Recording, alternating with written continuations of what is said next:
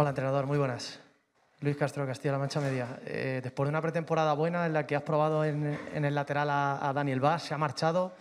Tenemos ahí a, a Molina. Em, eh, em, ¿Qué valoras? ¿Intentar ir al mercado a buscar algún lateral? ¿Te vale otra vez como hiciste el año pasado con Marcos Llorente? ¿La posibilidad también del canterano Sergio Díez? ¿Cómo, cómo puedes valorar ahí lo que queda? Gracias. Bueno, ante todo me, pone contento eh, en las formas con la cual terminó Daniel esta preparación que hicimos porque fuimos a buscar al jugador que pudimos ver en los últimos partidos amistosos donde nos ayudó, lo hizo bien, estaba en muy buena forma y bueno, nos pidió la necesidad de salir y porque tenía sus temas personales que resolver. Y obviamente un chico que se ha comportado como se ha comportado él desde que llegó, entendía de que era mucho más importante todo lo que le estaba sucediendo a él que lo que nosotros tenemos que resolver como, equipo. Más allá de eso, tenemos alternativas diferentes a, esa posición de Molina y veremos si llegará alguien o no. Ustedes saben bien que hasta que no cierre el libro de pases eh, hay que estar muy tranquilo en todo lo que se dice y bueno, esperando a ver cómo se cierra todo. A la derecha, Antonio Ruiz. Hola, Diego. Eh, me gustaría saber si te ha sorprendido mucho la posición de central de Wissel y si eh, esa versión buena que está dando te puede servir, aparte de para una solución temporal, para una solución más definitiva. Eh, bueno, lo, irá marcando el campo.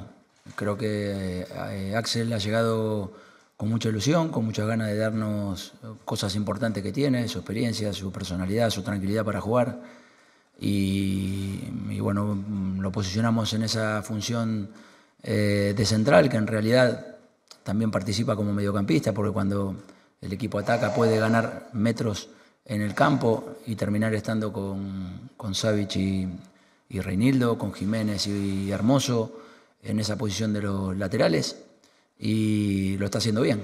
Eh, ojalá que lo pueda sostener y ya el campo irá marcando un poco lo que iremos haciendo en el andar. José Vicente, a la derecha, Radio Nacional de España. hola, José Vicente Arnaiz de Radio Nacional, en directo para Tablero Deportivo. Esta temporada va a ser una temporada muy singular por la presencia del Mundial en mitad de la, campaña, cosa que en el fútbol europeo pues nunca ha, sucedido. ¿Eso a usted cómo le influye de cara a planificar la temporada si desea un equipo más intenso desde el inicio para llegar al parón lo mejor posible? Y también si tienen ya eh, decidido si el profe Ortega va a ir con Uruguay o no y lo va a perder también en esa, en esa época del Mundial.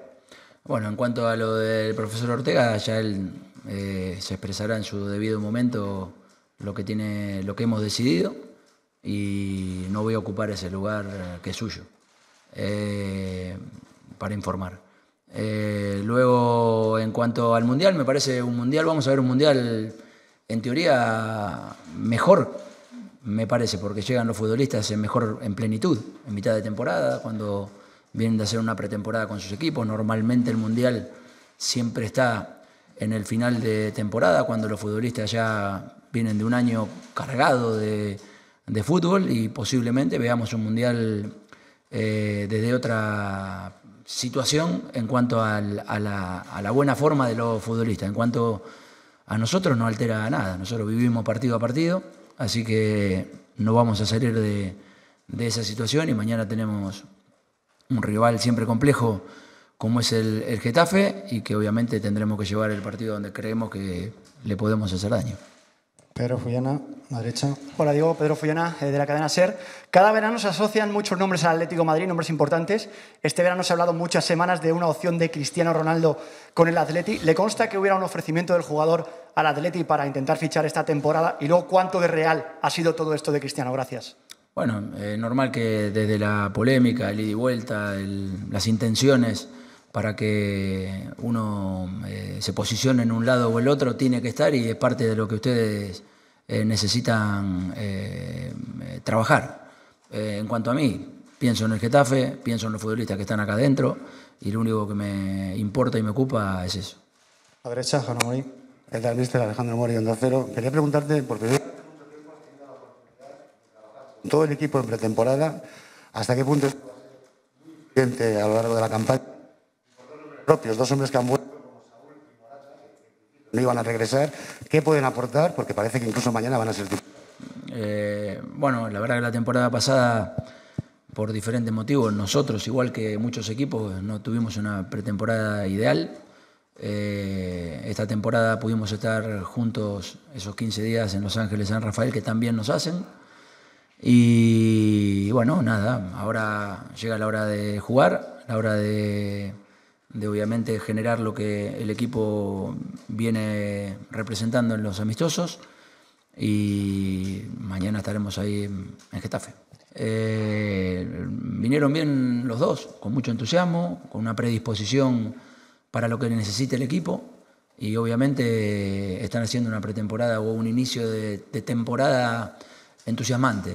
Ojalá que lo puedan demostrar a partir del partido de mañana y que cada minuto que le toque jugar, ya sea 15, 20, 10 o 90, eh, lo hagan con la misma ilusión con la cual están demostrando en los entrenamientos. Guerrero.